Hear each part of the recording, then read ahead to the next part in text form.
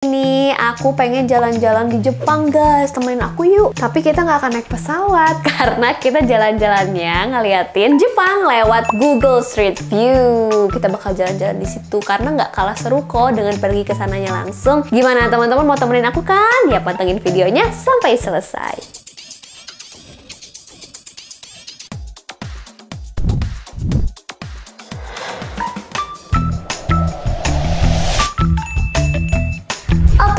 Teman-teman, kita sudah sampai di Akihabara Station. Jadi ini adalah stasiun Akihabara. Buat yang belum tahu, Akihabara ini adalah salah satu daerah yang terkenal banget di Tokyo. Jadi dia letaknya ada di Tokyo. Karena Akihabara ini bisa kalian lihat sendiri di kanan kirinya.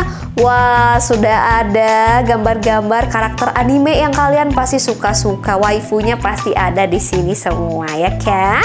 Tuh, ini apa nih? Karakter siapa nih? Kalian pasti tahu ini karakter apa. Coba kita zoom lagi, guys. Nah, ini dia. Oke, lucu lucu-lucu banget ya emang karakter-karakternya ya teman-teman ya. Nah, dari sini di sini juga akan ada banyak banget ya kayak misalkan restoran, kemudian tempat-tempat yang menjual hal-hal yang berhubungan dengan pop culture seperti misalnya anime, manga, terus udah gitu ada juga yang kayak berhubungan dengan idol. Kalian pasti tahu sendiri dong kalau di Akihabara ini atau disingkat suka disingkat Akiba ya teman-teman. Di sini tuh ada satu teater yang terkenal yaitu teaternya AKB48. Nanti kita coba mampir ya. Tapi sebelumnya kita kita jalan-jalan dulu dong nih. Oke, di sepanjang jalan ini ya. Oke, di sini ada banyak banget toko-toko ya teman-teman dan kalian jangan khawatir kalau lapar juga banyak restoran. ya kan? Tuh, di pinggir sini ada apa nih? Mungkin kalian bisa baca Sekaino. Apa nih bacanya? Komen ya di bawah ya. Oke, mungkin ini adalah sebuah supermarket di sana guys. Yang suka ke Jepang pasti udah tahu lah kalau di Akihabara tuh harus ke mana aja. Nah, di atas ini juga ada gambar-gambar anime mecha ya. Yang suka dengan genre anime mecha pasti tahu ini tuh apa ya teman-teman.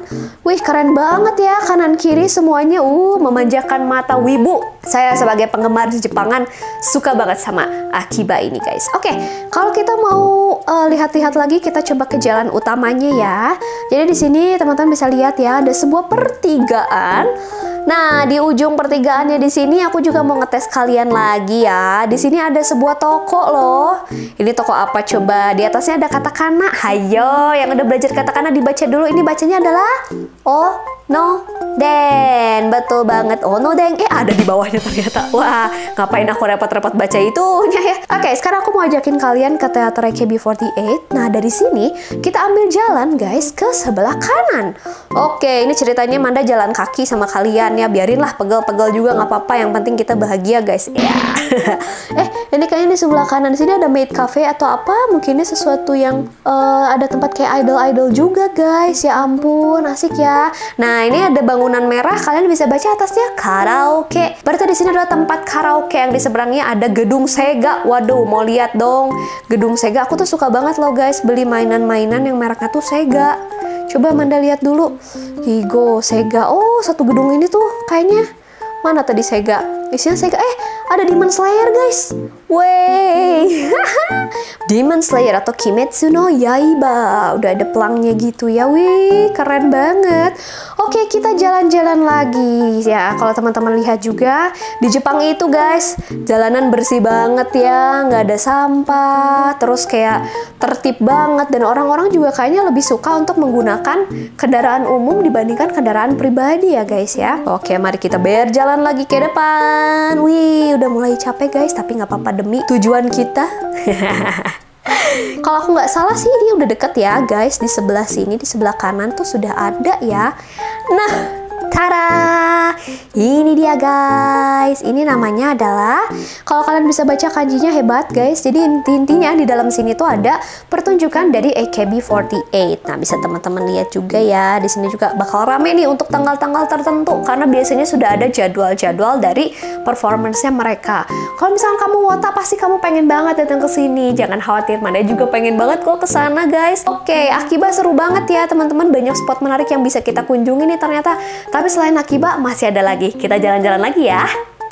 Huh, oke okay, teman-teman, udah selesai jalan-jalan di Akiba, udah nontonin AKB beres. Sekarang kita akan jalan-jalan ke Harajuku. Oke, okay, buat teman-teman mungkin yang belum tahu, sebenarnya Harajuku itu adalah salah satu jalan di Jepang ya. Jadi selain mengacu pada style, Harajuku juga adalah nama sebuah jalan di Jepang. Tapi kalau nama aslinya adalah Takeshita ya. Nih, Takeshita teman-teman bisa baca ada di atasnya.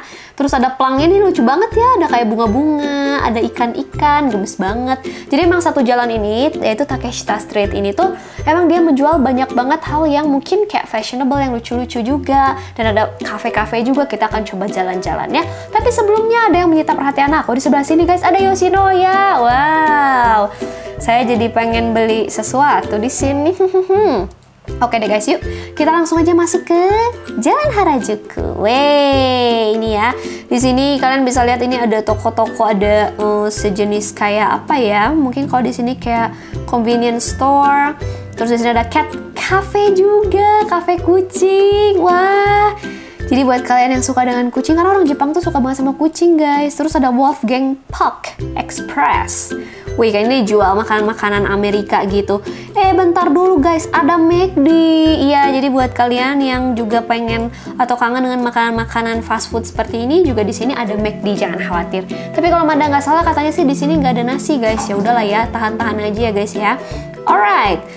And then di sini ada toko. Wah, ini ini restoran ini kayaknya enak nih karena dia jual soba. Di belakang ada kata soba ya, guys.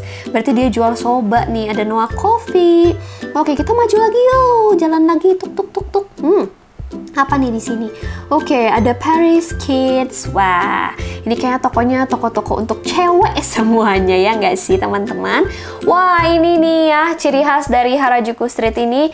Kalau teman-teman bisa baca kanji ini, ini namanya adalah Kutsu Shita Ya, ya kutsushita itu artinya adalah kaos kaki.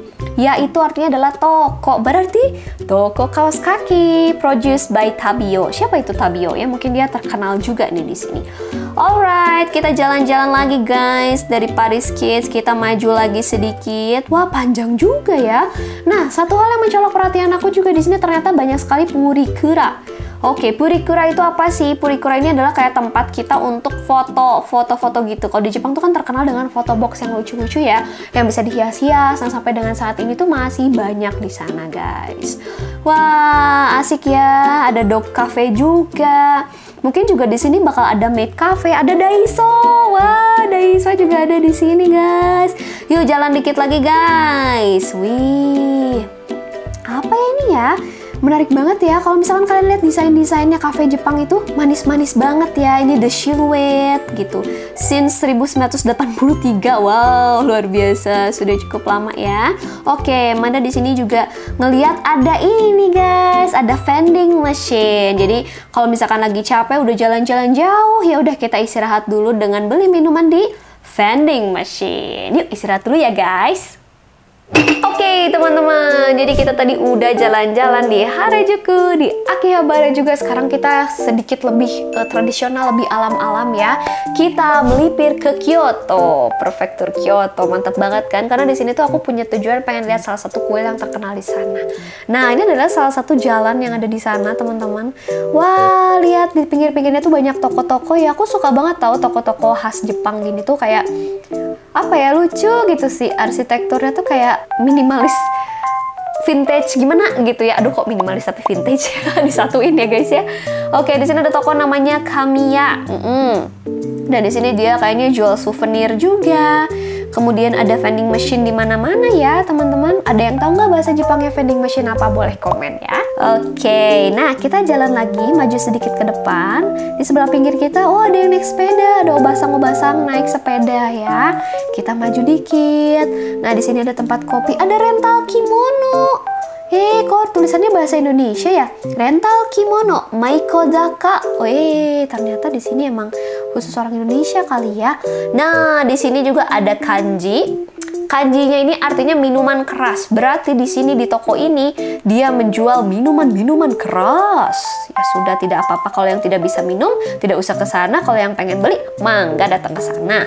Nah ini ada Tsukasa Sweets Cafe, cafe ya guys ya. Jadi kayak cafe-cafe untuk uh, beli kayak kue-kue, mungkin seperti itu. Pancake. Apa coba artinya? Pancake. Pancake guys. Dia jual pancake. Oke okay. nah teman-teman di sini udah bisa ngelihat ada sebuah tonjolan-tonjolan yang kayak di Great Asia Afrika. Kalau di Bandung ya ini dia kuilnya di depan ya. Oke okay, dan rumah-rumah di pinggir-pinggirnya khas banget ya. Khas Kyoto gitu. Kayak klasik-klasik gimana gitu. Aku maju sedikit guys. Kita langsung saja masuk ke dalam kuil ya. Oke okay, ini namanya adalah Fushimi Inari Nah, kita langsung belok kanan dan kita masuk ke dalam kuilnya. Ciri khas dari kuil-kuil itu biasanya di sana ada kayak gerbangnya ya. Gerbang yang luas kayak gini guys. Kita masuk ke sana aja langsung. Boleh masuk kan? Boleh dong. Wah, cahayanya bagus sekali nih teman-teman buat foto-foto pasti seru nih. Pasti hasilnya instagramable banget kalau foto-foto. Uhuy. Jadi di Fushimi Inari ini orang-orang tuh yang pokoknya yang beragama Shinto, di sana mereka itu menyembah Inari Okami atau Dewa Inari gitu. Jadi namanya makanya dinamakan Fushimi Inari, teman-teman. Yuk kita lihat perjalanan cukup jauh ya untuk masuk ke gerbang kuil yang dalamnya itu jalannya kayaknya capek nih. Oke, kita lihat di sini ada gerbang lagi. Kita akan masuk lagi, guys. Kita bisa naik nggak ke dalam? Oh, bisa. Wih, seru seru seru seru seru. Oke, guys, ini kita udah masuk loh ke dalamnya. Iya dong, di sini kalian bisa lihat ya kalau suasana khas kuil tuh seperti ini, kayak asri banget, bersih juga. Ya tapi kalau di Jepang sih emang di mana pun bersih ya guys ya. Nah ini kita keluar lagi ya. Oh enggak, kita nggak bisa masuk guys, cuman sebatas sampai situ doang ternyata. Ya wes nggak apa-apa. Kita maju dan melihat-lihat ke sekitaran sini karena aku melihat ternyata di kuil juga banyak yang jualan guys, baik itu toko minuman ya, kedai-kedai minuman. Kemudian aku tadi penasaran deh pengen ke sebelah sini juga Wih, seru seru seru seru. Coba-coba aku mau ke sini. Wah guys, lihat deh di sini ada kayak khas-khas yang ada di kuil tuh ada ada teks-teks gitu loh. Jadi ada suka ada yang dipajang-pajang. Manda juga sebenarnya kurang tahu itu namanya apa. Dan kalau teman-teman yang tahu boleh komen, bantu kasih tahu ke teman-teman yang lain boleh banget ya. Terus ini juga ada sekelompok anak-anak yang sepertinya mereka mungkin lagi karya wisata bisa jadi ya atau mungkin mereka lagi berdoa di sana bisa jadi juga ya. Begitu guys. Ih seru banget ya jalan-jalan ke sini. Aku jadi pengen deh. Klasik gitu ya kuil kayak gitu tuh kayak bikin adem aja kalau kita ke sini Nah, di sebelah sini juga masih ada area-area lainnya, guys. Dan kalau misalkan kalian haus, nah, Manda mau ngasih lihat kalian satu spot yang menarik. Jang-jang, di sebelah sini ada jajanan. Atau nggak dibacanya apa? Kaki gori. Kaki gori itu adalah Japanese shave ice atau di Indonesianya es serut, guys. Jadi es serut di sana tuh pakai susu, pakai jus, pokoknya warna-warni gitu, guys. Enak banget. Seperti di Matsuri Matsuri ya, ada yang jual nah taiyaki, taiyaki. Terus ada juga tadi si Japanese shave ice atau kaki gori. Terus ada lagi yang jual aksesoris-aksesoris kuil. Ih, seru ya guys.